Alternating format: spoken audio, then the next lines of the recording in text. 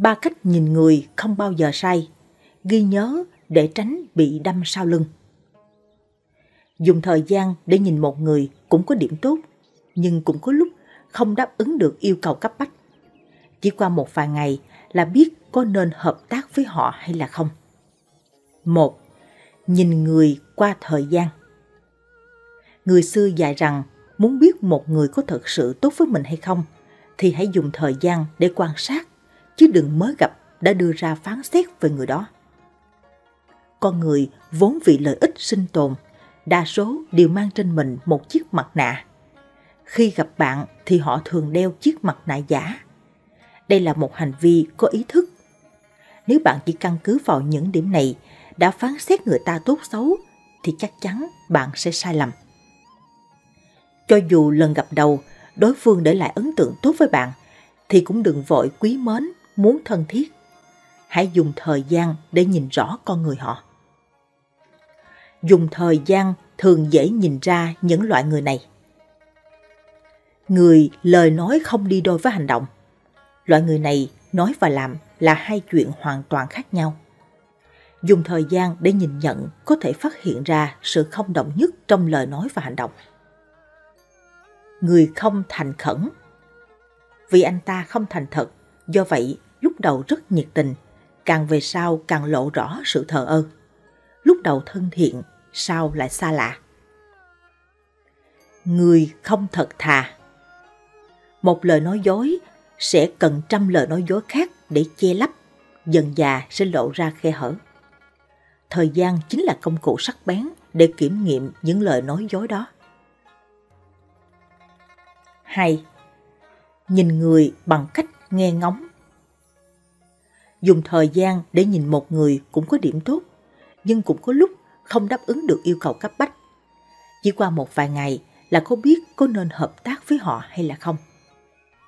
Thế nên, nhìn người bằng thời gian cũng không phải lúc nào cũng phù hợp cả. Khi đó, nên nghe ngóng về người đó từ mọi phía. Con người phải luôn tiếp xúc với người khác đồng thời bản tính dễ bị lộ ra bởi người thứ ba không liên quan. Chúng ta thường nói, ngưu tầm ngưu, mã tầm mã. Điều này có nghĩa là người như thế nào sẽ chơi với bạn bè thế ấy. Cách nhìn nhận và quan điểm sống của những người bạn chơi cùng nhau phải có những điểm tương đồng thì họ mới có thể chơi với nhau. Phương pháp này nghĩa là chúng ta sẽ thu thập thông tin về người đó từ nhiều phía, sau đó tìm những điểm tương đồng nhiều nhất để đúc kết ra tính cách con người ấy. Lẽ đương nhiên, các đối tượng được thăm dò phải khác nhau và có mối quan hệ lợi ích khác nhau với người cần thăm dò. Nếu chỉ nghe ngóng từ người thân, bạn bè người đó, chúng ta chỉ nghe được mặt tích cực. Nếu chỉ hỏi từ đối thủ, chúng ta chỉ nghe được những mặt tiêu cực. Cần khéo léo tổng hợp thông tin từ nhiều nguồn để tìm ra nét tính cách có điểm tương đồng với nhiều kết quả từ các nguồn tin. 3. Nhìn người qua sở thích và ham muốn của họ. Con người với bản tính thật sẽ bộc lộ khi tiếp xúc với thứ mà mình thật sự ham muốn. Chẳng hạn như, một người ham ăn sẽ không thể kiềm chế trước những món ngon. Kẻ hám tiền sẽ sáng mắt khi thấy củ cải hãy tận dụng mọi cơ hội để quan sát họ nhé. Ngụ ngôn Hy Lạp có chuyện kể. Có một vị quân vương nuôi một bầy khỉ.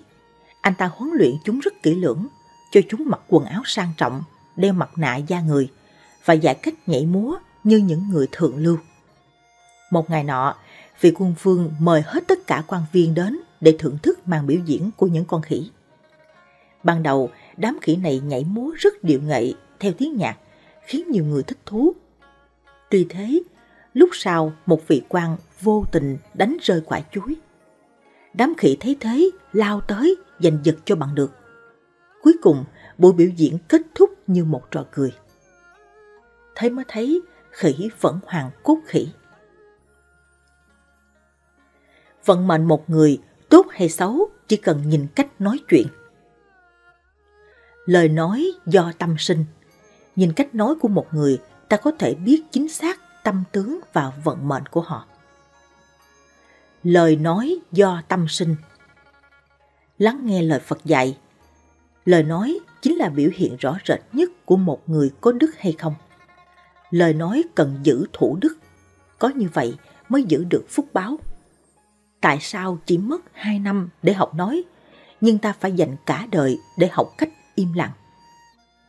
Nói là một loại năng lực, im lặng là một loại trí tuệ. Mệnh của con người có tốt hay không, có thể nhìn cách người đó nói chuyện là có thể nhận biết. Hàng ngày không nhất định đều phạm phải việc tổn đức, nhưng nói chuyện thốt ra những điều khó nghe, làm tổn thương người khác, thì đương nhiên sẽ mất đi phúc báo. Cuộc sống của những người hay dùng những lời lẽ sắc nhọn làm tổn thương người khác thường là những người cô đơn, ít bạn bè. Người có vận mệnh tốt là người ăn nói có chừng mực. Mỗi lời nói đều thể hiện là người có đạo đức. Họ không dùng ngôn từ mạnh để phê phán, chê bai người khác. Không dài dòng nói từ chuyện nọ sang chuyện kia. Không kể công của bản thân mình sau khi đã giúp ai đó. Lời nói của họ luôn chân thành với tâm ý động viên, khích lệ người khác. Biết rõ về một người không cần nhất thiết phải tận nói. Hãy lưu lại cho người ta ba phần khoảng trống. Đây cũng là lưu lại chút khẩu đức cho mình. Trách một người không cần phải tận trách. Hãy lưu lại cho người ba phần khoảng trống. Đây cũng là lưu được chút độ lượng cho mình. Có công không cần đòi hỏi tận cùng. Hãy lưu lại cho người ba phần khoảng trống. Đây cũng là lưu được chút khiêm nhượng cho mình đúng lý cũng không cần đoạt tận. Hãy lưu lại cho người ba phần khoảng trống. Đây cũng là lưu được chút khoan dung cho mình. Tài năng đừng quá ngạo mạn. Hãy lưu lại cho người ba phần khoảng trống. Đây cũng là lưu chút đức khiêm hư cho mình. Ngày tháng tích tụ, bao nhiêu phúc báo cũng từ cái miệng mà đi hết nếu cứ thường xuyên gây khẩu nghiệp. Lời nói không hay sẽ làm tan vỡ mọi mối quan hệ dù trước đó phải khó khăn để xây đắp. Thực tế là không người chồng nào muốn về nhà nếu có một cô vợ thường xuyên chỉ chiết trách móc. Không có đứa con nào hạnh phúc nếu có cha mẹ không nói lời dịu dàng mà chỉ quát nạt la mắng. Không có người bạn nào hứng thú giao thiệp với người hay nói lời cay độc, bình phẩm ác ý. Cổ nhân nói, lời do tâm sinh một người có tâm tính như thế nào thì sẽ nói ra những lời như thế. Người có lòng bao dung, lời nói ra sẽ nhẹ nhàng hòa ái. Người trong tâm đầy oán hận, lời nói ra sẽ hung hăng cay nghiệt.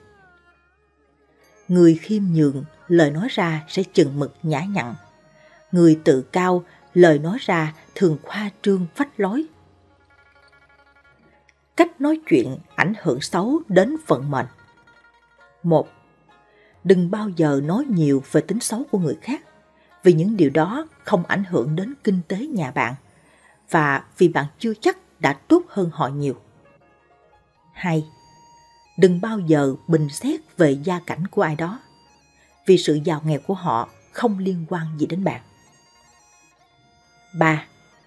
Đừng bao giờ có lời nói làm tổn thương người khác, vì luật nhân quả luôn tồn tại dù bạn có tin hay không. 4. Đừng tùy tiện nổi giận với người khác. Không phải họ đang nợ bạn, mà có lẽ chính là bạn đang nợ họ. Và giờ đến lúc bạn phải trả cái nợ đó. 5. Đừng bàn luận nhiều về cách hành xử của người khác, vì có thể họ chính là chiếc gương của bạn. Nhờ tấm gương đó mà bạn nhận ra những thiếu sót của bản thân. 6. Đừng bình phẩm xấu về ai đó, vì có thể người nào đó cũng đang nói về bạn với một điều tốt đẹp. 7. Đừng giải thích nhiều về một sự việc nào đó, vì có thể càng giải thích thì vấn đề lại càng trở nên rắc rối hơn. Bệnh từ cái miệng, họa cũng từ cái miệng. Theo kinh sách nhà Phật, con người ta có vận mệnh tốt và giàu có ở kiếp này là vì người đó đã tích được nhiều đức ở các kiếp sống trước. Tích đức thường được hiểu là cần phải làm được việc gì đó tốt, giúp đỡ được ai đó. Tuy nhiên, không hề đơn giản khi làm được việc gì đó tốt cho ai đó. Bạn có thể phải mất rất nhiều công sức, tiền của khi giúp ai đó. Tuy nhiên, cũng không hề chắc chắn rằng những nỗ lực mà bạn bỏ ra hoàn toàn đem lại kết quả tốt đẹp. Trong cuộc đời của mỗi người, không phải ai cũng sẵn lòng làm việc gì tốt cho người khác, nhưng họ lại rất dễ nói những lời khó nghe với những người xung quanh. Chính những lời nói khó nghe đó khiến cuộc sống của họ không hề bằng phẳng, mà trái lại không biết chừng lại gặp gền trong gai. Cổ nhân ta có dạy, bệnh tùng khẩu nhập, họa tùng khẩu xuất, nghĩa là bệnh từ cái miệng, họa cũng từ cái miệng. Củ cải dù to lớn như núi, nhưng cái miệng ăn lâu ngày cũng hết. Phúc đức dù cực khổ gieo tạo nhiều đời, nhưng do cái miệng tạo nghiệp, nói lời ác ý với người khác thì lại khiến phước đó tiêu tan mất. Có người thắc mắc, sao mình làm ơn mà lại bị mắc oán? Họ không biết rằng cũng có thể do chính cái miệng của họ thường hay kể công, mắng mỏ, áp đặt người khác.